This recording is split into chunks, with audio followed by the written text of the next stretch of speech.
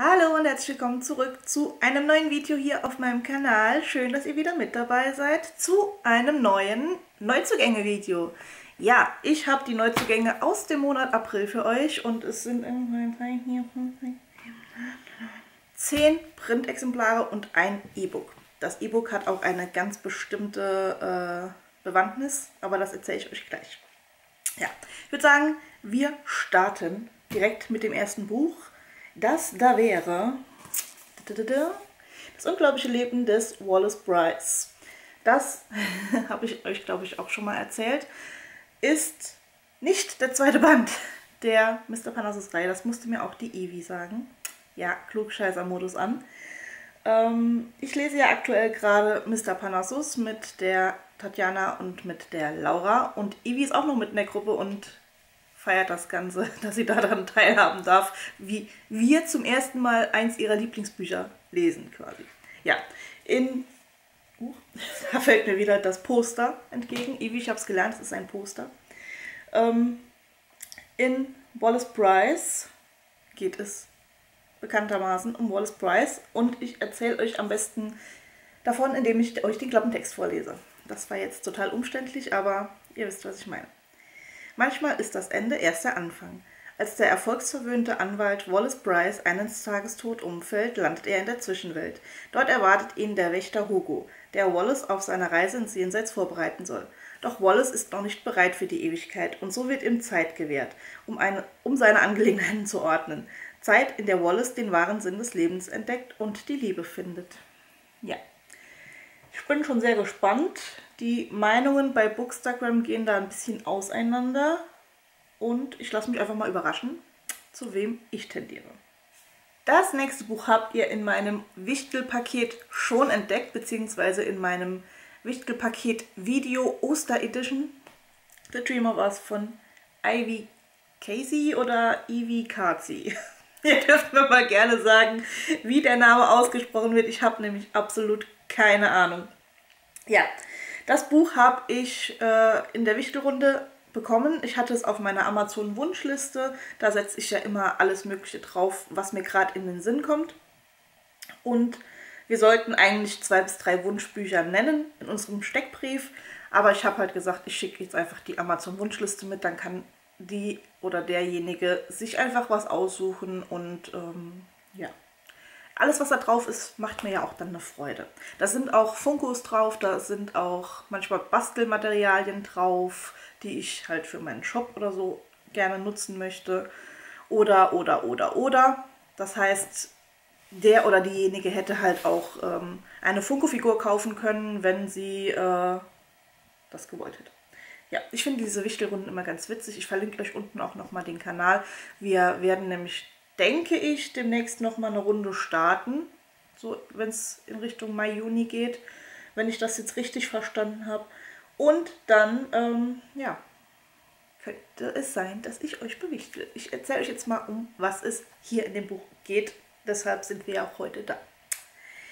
Was, wenn dein Traum der großen Liebe im Weg steht? Julie Summers ist Cheerleaderin mit Leib und Seele. Daher ist es auch ihr größter Traum, nach dem College-Abschluss einen Platz bei den Cheerleadern eines erfolgreichen NFL-Teams zu ergattern. Doch dort gilt eine strenge Regel. Wer einen Footballspieler datet, fliegt raus. Bisher war die Vorschrift kein Problem für Julie, bis sie den neuen College-Quarterback Andrew McDaniels kennenlernt. Drew löst mit nur einem Blick Gefühle in ihr aus, die sie so noch nie empfunden hat. Und jedes Mal, wenn die beiden sich treffen, wird das Prickeln zwischen ihnen stärker. Aber ist die Möglichkeit einer Zukunft mit Drew es wert, ihren Traum aufzugeben? Ich habe schon lange nichts mehr mit Football und Co. gelesen, deshalb denke ich, dass ich vielleicht sogar im Mai das Projekt schon angehen werde. Kommen wir zu einem Buch, das ich quasi heute beginnen werde in einem Buddy Read. Die Lichtgeborene von Björn Beermann. Ein Rezensionsexemplar von einem Self-Publisher. Ich habe jemanden gefunden, der das Buch auch hat, die das Buch auch hat.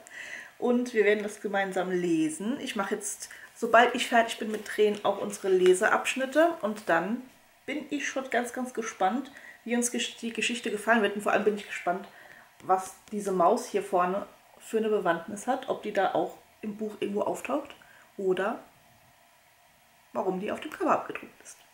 Es geht nämlich laut Klappentext nicht um Mäuse.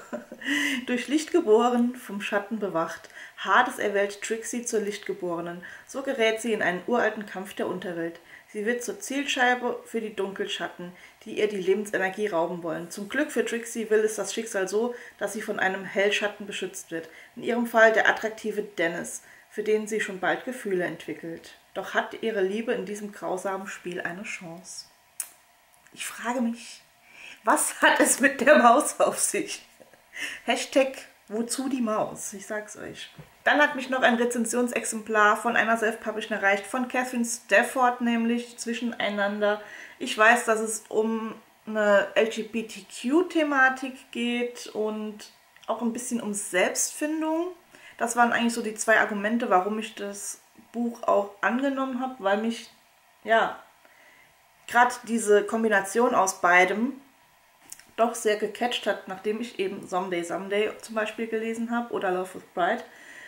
Und ähm, ich erzähle euch jetzt einfach mal, um was es hier genau geht.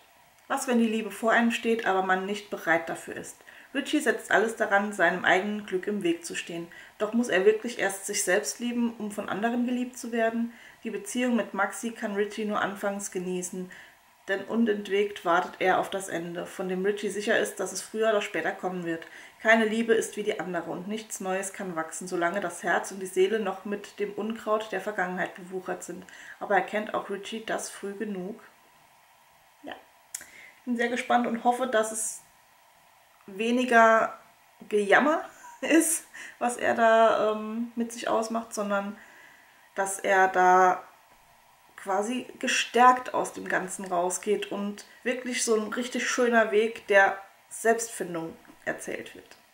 Die nächsten fünf Bücher stammen alle aus einer Medimops-Bestellung, die ich getätigt habe. Ich habe zuerst überlegt, ob ich euch dazu auch extra ein Unpacking-Video mache, aber habe dann gedacht, nö, du hast den Monat gar nicht so viele Bücher bestellt. Das lohnt sich dann vielleicht nicht, mit fünf Büchern ein Unpacking zu machen und dann mit den gleichen Büchern plus noch fünf anderen Neuzugänge-Video zu machen.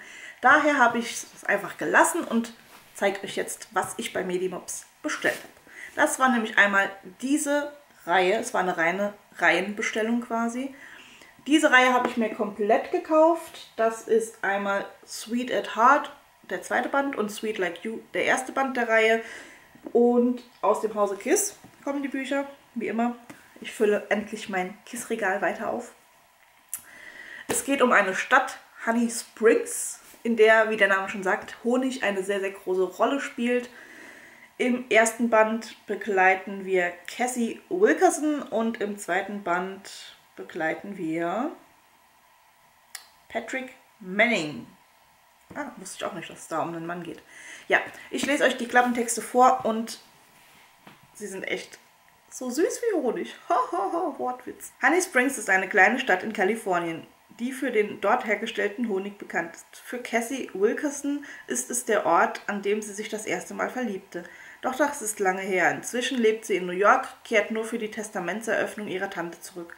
Doch anstatt wie erwartet irgendeine Kleinigkeit zu erben, ist sie plötzlich Besitzerin einer Farm samt Imkerei und soll dem noch soll zudem noch für drei Wochen das Amt ihrer verstorbenen Tante als Bürgermeisterin übernehmen. Bitte was? Cassie kann nicht bleiben. Sie hat einen Job in New York und sie hat Angst vor Bienen. Verdammt nochmal. Aber um ihre Tante willen, um ihrer Tante willen lässt sie sich auf die drei Wochen ein. Schließlich hat sie Hilfe, zum Beispiel von Nick Porter, damals ihr erster Freund und heute der Chefimker ihrer Farm. Klingt auf jeden Fall sehr, sehr, sehr, sehr lustig. Und in Band 2 geht es auch um die Stadt Honey Springs wie unerwartet. In der kleinen kalifornischen Stadt Honey Springs dreht sich alles um Honig. Vom Buchladen The Book Bee, oh, ich wäre so gerne in diesem Buchladen, ich sag's euch, bis zur Baseballmannschaft der Schule, den Honey Hornets. Alle sind stolz auf das besondere Markenzeichen ihrer Stadt und zeigen das auch. Nur einer nicht. Patrick Manning, der Besitzer des Coffeeshops, weigert sich beharrlich, seinem Geschäft einen honiginspirierten Namen zu geben. Und das ärgert Madison Porter, die Assistentin der Bürgermeisterin, jeden Tag aufs Neue.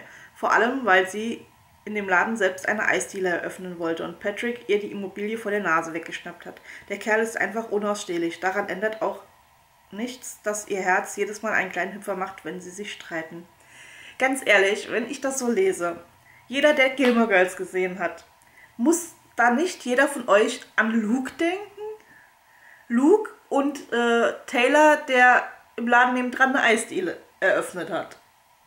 Ja, also könnte sehr, sehr witzig werden, die Reihe. Ich freue mich da auch schon arg drauf. Ich denke, die hebe ich mir auf so für den Sommer, wenn ich dann im Garten liege, Maler schön entspannt irgendwas spielt und ich mir dann diese Reihe genehmigen kann.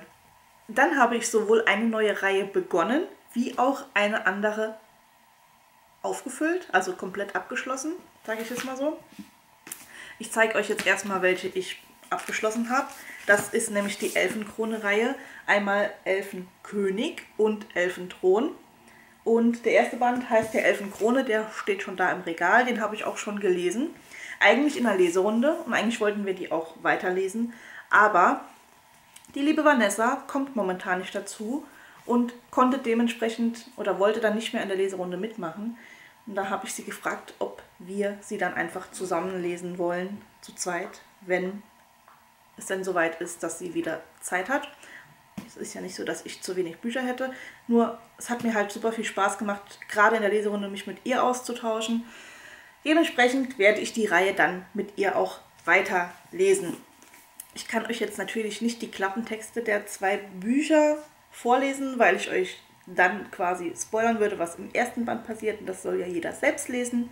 Aber ich kann euch erzählen, um was es in Band 1 geht oder um was es allgemein geht. Wir begleiten nämlich Jude, ihre Zwillingsschwester und eigentlich noch ihre andere Schwester, die quasi zu ihrem Vater ziehen müssen, beziehungsweise zum Vater der Nicht-Zwillingsschwester. Die haben unterschiedliche Väter. Und ja, als Mensch im Elfenreich hat man es halt einfach nicht so einfach. Man wird total verpönt, man wird als schmutziges Wesen betitelt, als schwach und ja. Jude ist halt so eine kleine Badass-Protagonistin, die halt den ganzen Laden ein bisschen aufmischt. Ich lasse das jetzt einfach mal so stehen. Und dann habe ich noch eine Reihe neu angefangen, nämlich die Nights-Reihe von Lena Kiefer. Wie ihr wisst, habe ich ja gerade die Ophelia Scale-Bücher weggesuchtet und hoffe einfach drauf, dass mir die Nights-Reihe genauso gut gefällt. Vor allem, weil ich halt auch ein Riesenfan von der Thematik mit Merlin und Ritter der Tafelrunde etc. bin. Und darum soll es immerhin hier gehen. Verrate niemandem, wozu du fähig bist, oder es wird dich das Leben kosten. Die 18-jährige Charlotte Stewart tut alles dafür, ihre Gabe geheim zu halten, denn sie weiß, wenn ihre Fähigkeiten in die falschen Hände geraten, könnte das der Untergang der Welt bedeuten. Doch dann macht plötzlich jemand Jagd auf Charlotte und sie muss aus London verschwinden. Auf ihrer Flucht läuft sie ausgerechnet der Organisation in die Arme, vor der sie sich jahrelang versteckt hat, den Knights of the Round Table, die Nachfahren der Ritter der Tafelrunde und verfügen selbst über besondere Gaben und Charlotte misstraut ihnen zutiefst. Dennoch bleibt ihr keine Wahl, als sich mit den Knights zu verbünden. Allen voran mit Noel Mayfield, einem Lancelot-Erben, der in ihr unerwartete Gefühle weckt und mit dem sie ein gefährliches Schicksal verbindet. Da ist ja jetzt auch Band 2 erschienen oder erscheint jetzt gerade bald. Ich bin mir gerade nicht sicher, ich glaube Mai erscheint der. Steinigt mich. Ja, Ritter der Tafelrunde, mega spannendes Thema und ja, vielleicht warte ich, bis der zweite Band erscheint, damit ich sie beide zusammenlesen kann. Dann, last but not least, das letzte Printexemplar ist gerade gestern hier eingetrudelt. Truth, bist du bereit für die Wahrheit? Das habe ich euch ja auch schon in meinem Book News zweites Quartal 2022 Video, das kann ich euch gerne nochmal hier verlinken, vorgestellt. Das Buch wollte ich mir so oder so kaufen, weil alle Bücher, die ich euch in diesem Video vorstelle, sprechen mich an und möchten von mir gelesen werden. Aber ich habe Glück gehabt. Ich habe nämlich bei der Blogger-Jury ähm, das Buch quasi gewonnen und werde es dementsprechend auch jetzt im Mai, ich muss mal legen, welcher Monat kommt, im Mai lesen. Es geht hier nämlich um Jule. Warum hinten hier ein Haar? Und es heißt, als Jule das Grab ihres großen Bruders Melan besucht, kann sie nicht fassen, was dort steht. Jemand hat in Dave... Es geht nämlich um Jule.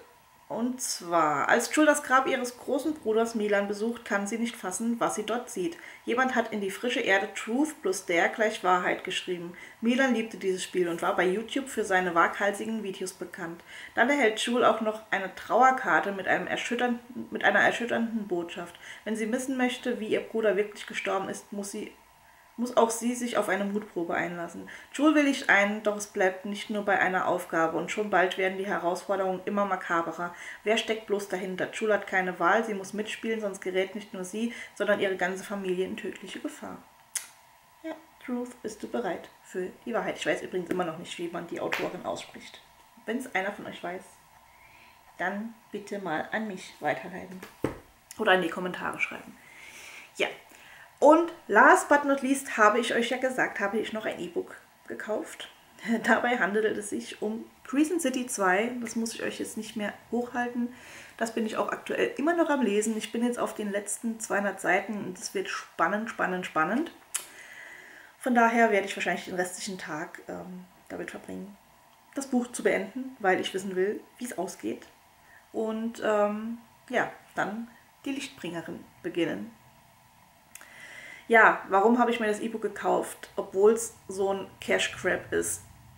Weil ich nicht gespoilert werden möchte. Ich habe jetzt noch eine Freundin zu verzeichnen, die auf Instagram gespoilert wurde, was in Crescent City 2 passiert.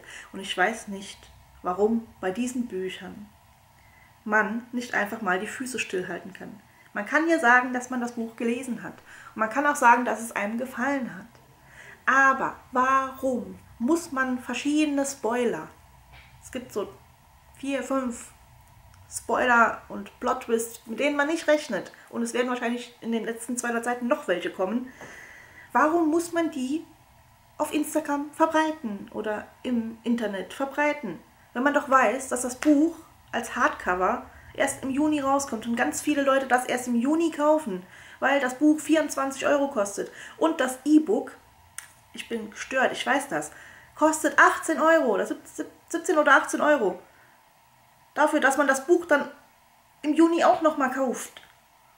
Das ist reine Geldmacherei. Aber wir sind gestört. Wir kaufen das trotzdem, weil wir wissen wollen, wie es weitergeht. Und weil wir Angst haben, dass wir gespoilert werden. Ihr wisst, was ich meine. Ich hasse mich selbst dafür. Leute, ich hasse mich wirklich selbst dafür, dass ich mir das E-Book gekauft habe. Und dann freue ich mich aber auch, dass ich das Buch gekauft habe.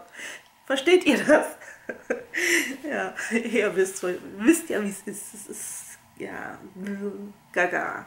Aber wir wären alle nicht hier, wenn wir nicht so wären.